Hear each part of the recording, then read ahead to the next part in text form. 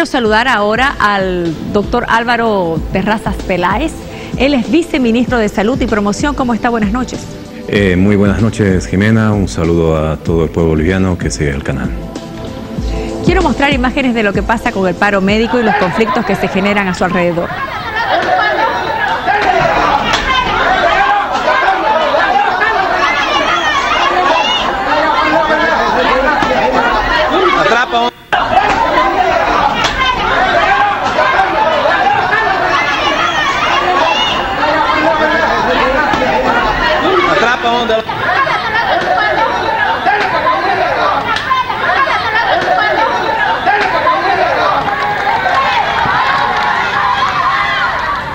¿Cuál es la situación con la salud, por favor, viceministro, con estas protestas?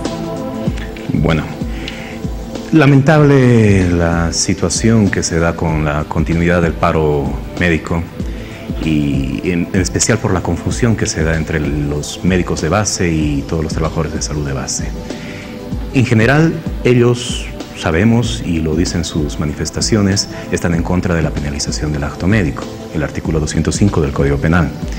Pero los diálogos que se están llevando adelante y se han llevado de forma hasta el momento infructuosa eh, con el Colegio Médico, eh, están referidos al, al, decreto 3385, que es de la Autoridad de Fiscalización y Control del Sistema de Salud. Entonces son dos temas distintos, el Código Penal y otra cosa es la Autoridad de Fiscalización.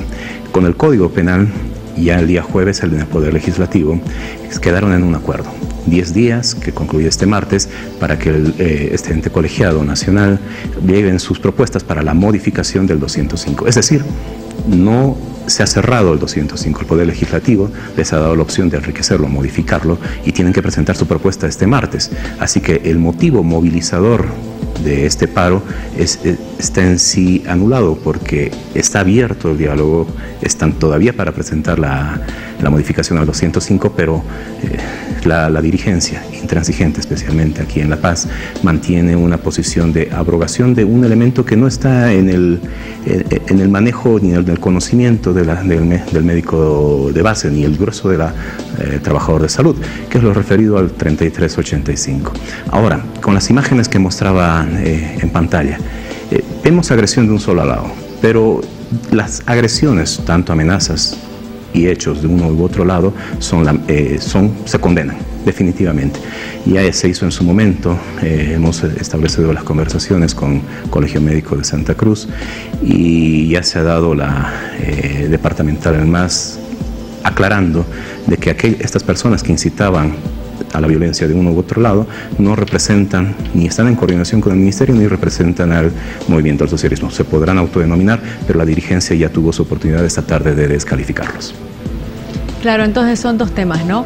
Uno que tiene que ver con la penalización del ejercicio médico y la otra que tiene que ver eh, con esta creación de la autoridad de fiscalización y control del sistema de salud.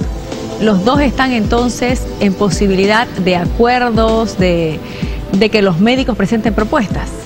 Sí, Jimena.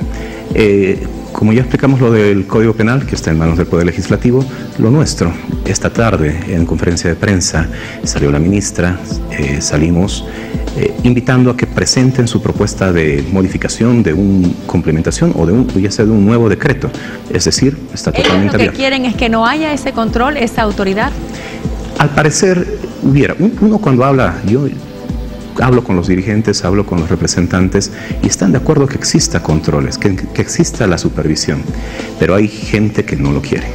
Hemos mostrado la situación eh, el alarmante, el escandaloso eh, escenario que se encontró en el Hospital Obrero con, eh, en la Caja Nacional, aquí en La Paz, con más de 18 mil pruebas hechas para el sector privado con recursos de los asegurados. Entonces, esas cosas son las que nos preocupa que no quisieran que se controlen o se fiscalicen.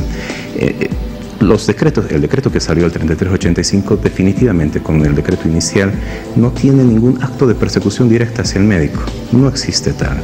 Lo que se crea es precisamente para fiscalizar y hacer buena gestión y eh, ir sobre la supervisión de los sistemas como tal, de unidades, de servicios y no así del acto médico.